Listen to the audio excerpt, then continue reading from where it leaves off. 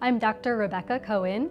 I work with IU Health Southern Indiana Physicians in internal medicine primary care, and I've been in practice since 2006.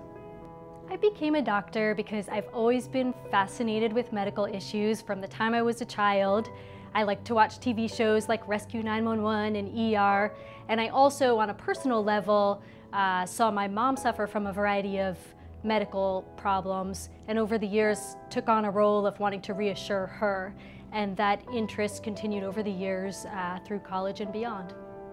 At a first visit, we'll take some time to deal with any acute issues, uh, first and foremost, but it's also important that we go over your medical history and take a little time to get to know you uh, as a person as well. I love my job because I enjoy the variety that internal medicine provides. I'll see a wide variety of things in one particular day. And also I enjoy the diversity among my patients. Uh, I like taking care of people, staying organized, and uh, reassuring people as issues come up and developing relationships over a long period of time.